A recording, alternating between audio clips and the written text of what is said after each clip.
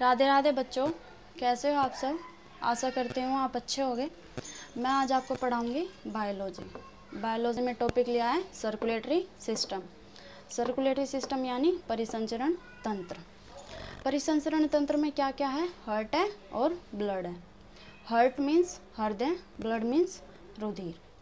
Study of heart मतलब हृदय के अध्ययन को क्या कहते हैं? कार्डियोलॉजी कार्डियो मीन्स होता है हार्ट लॉजी मीन्स होता है study study of heart cardiology study of blood रुधिर का अध्ययन. रुधिर के अध्ययन को कहते हैं हेमेटोलॉजी हेमेटो मीन्स होता है ब्लड लॉजी मीन्स होता है study study of blood study of blood क्या होता है? हेमेटोलॉजी अब आते हैं हम वेट ऑफ़ हार्ट मतलब हृदय का भार.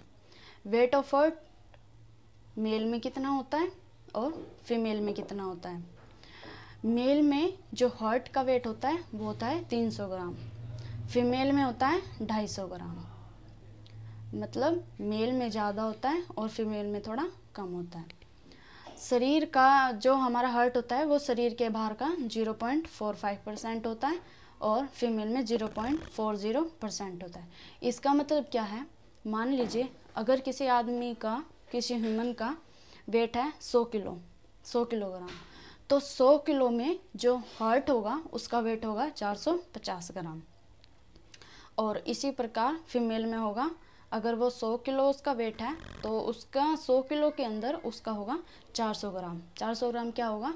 ये हार्ट का वेट होगा। मतलब शरीर के बाहर के चाल, zero point four zero percent. अब क्या है? ये है यूट्रस। यूट्रस मीन्स गर्भाशय।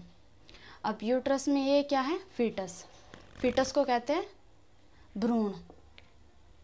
भ्रूण भ्रूण क्या होता है? जब मतलब बेबी होता है ना, छोटा सा बेबी पेट के, उसको फीटस बोलते हैं भ्रूण.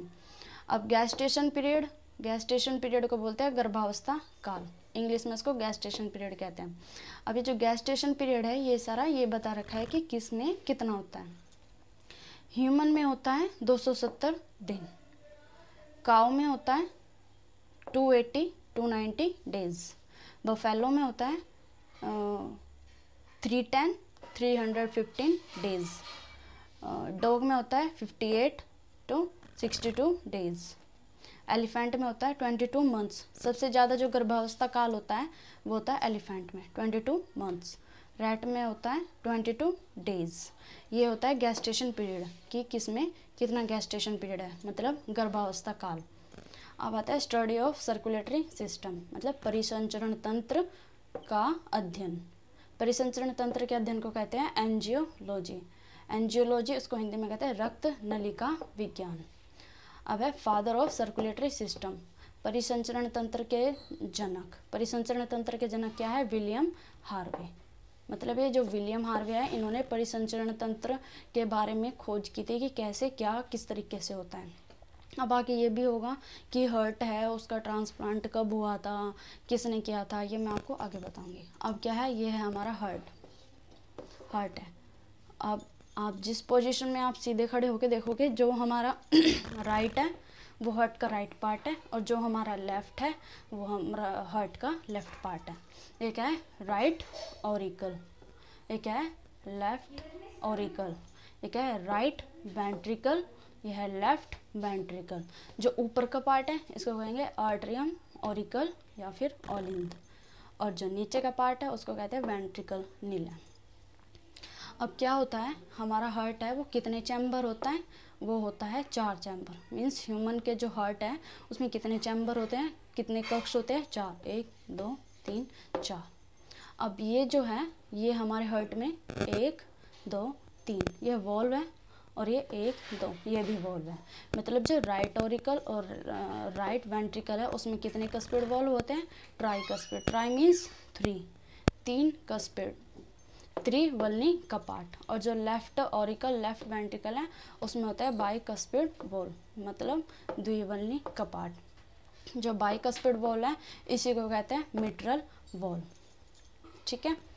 अब क्या होता है? कि मैंडुला ओब्लोगेटा मैंडुला ओब्लोगेटा क्या होता है? जो ब्रेन है ब्रेन का सबसे निचला पार्ट मैंडुला ओब्लोगेटा होता है। किसी, अगर किसी, मान लीजिए किसी आदमी का एक्सीडेंट हो गया, उसके चोट गर्दन के पीछे लगी है, और गर्दन के पीछे लगी, और उसका चोट पीछे लगी, गर्दन के मतलब ब्रेन के नीचे, और पता चला कि उसकी जो धड़कनें हैं, वो बंद हो गई। इसका मतलब क्या है? जो मैंडुला ओब्लोगेटा है, वो धड़कनों को नियंत्रित करता है। और जो एसे नोड है एसे नोड जो होता है, वो क्या करता है? धड़कनों को उत्पन्न करता है। धड़कनों को उत्पन्न करता है एसे नोड और धड़कनों को नियंत्रित करता है मैंडुला ओब्लागेटा अब मैंडुला ओब्लागेटा पे जब चोट लगेगी तो क्या होगा? ऐसे नोड पर इफ़ेक्ट पड़ेगा। ऐसे नोड पर इफ़ेक्ट पड़ेगा तो क्या होगा? जो हृदय की धड़कनें हैं, वे रुक जाएगी, जिसके कारण मनुष्य की मृत्यु हो जाएगी। अब ये क्या है? ऐसे नोड। ऐसे नोड को ही न्यूरो मस्कुलर फाइबर भी कहते हैं। न्यूरो मतलब न्यूरो होता है ब्रेन न्यूरो वर्ड ब्रेन को इंडिकेट करता है। ऐसे नोड क्या होता है? साइनो आर्ट्रिया नोड ये इसकी फुल फॉर्म है। हिंदी में इसको कहते हैं कोटरा आलिंद गाठ, या फिर हार्ट बैटरी या फिर पेस मेकर हार्ट बैटरी क्या होती है? आजकल आर्टिफिशियल भी डल रही है। इसका एक टाइमर होता है कि इतने टाइम तक ये हार्ट बैटरी काम करेगी, फिर ये चेंज हो जाएगी। पेस मेकर क्या होता है? गति प्रेरक। मतलब जो हृदय की गति है, उसको प्रेरक करता है।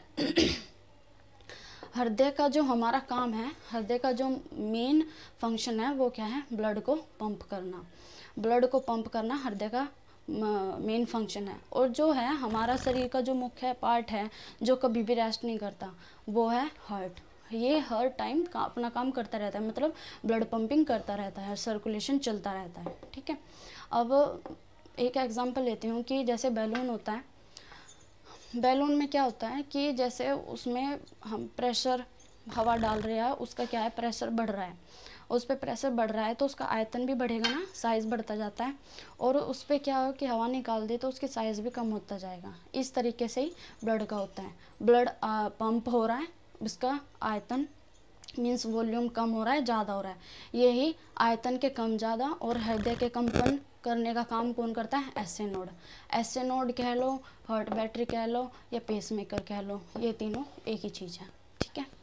और हृदय की धड़कनों को उत्पन्न कौन करता है? ऐसे नोड। ये मैंने बताया था। ऐसे नोड हृदय की धड़कनों को उत्पन्न करता है। मैंडुला ओब्लगेटा इससे क्या करता है? हृदय की जो धड़कनें हैं, उसको नियंत्रित करता है। अगर मैंडुला ओब्लगेटा को इफ़ेक्ट हुआ तो मतलब हृदय की धड़कनों को इफ़ेक्ट हुआ। ठीक है? हृदय की धड़कनों व ऐसे नोड को मैंडुला ओब्लगेटा नियंत्रित करता है। ठीक है? अगर किसी मनुष्य का जो ऐसे नोड है, वो स्वस्थ है अच्छे से काम कर रहा है। तो मनुष्य का जो हार्ट बीट होगी, वो कितनी होगी? एक मिनट में सेवेंटी टू पर मिनट मतलब एक मिनट में बेहतर बार धड़केगा। ठीक? अब बताती हूँ आपको धड़कनों की दर means rate of heart beat कि किसमें कितनी होती है। अडल्ट होगी न्यू बॉर्न बेबी हो गया फीटस हो गया एलिफेंट हो गया रेट हो गया व्हील हो गया।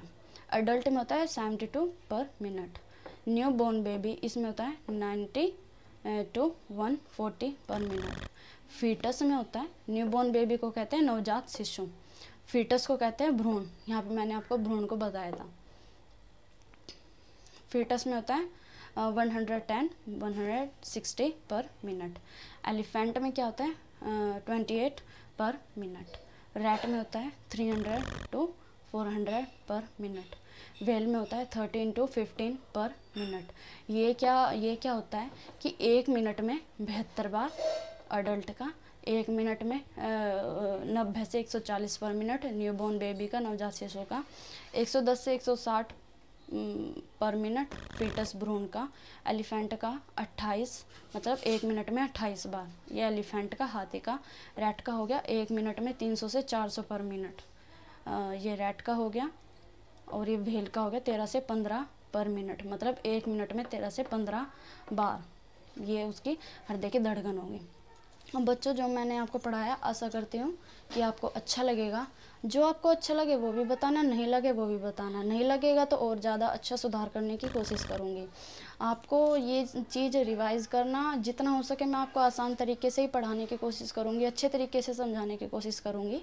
और आप इसको समझना, और आपको अच्छा लगे तो लाइक करना, सब्सक्राइब करना, और कुछ भी कमी हो अच्छा लगा हो तो कमेंट बॉक्स में ज़रूर बताना। राधे राधे बच्चों।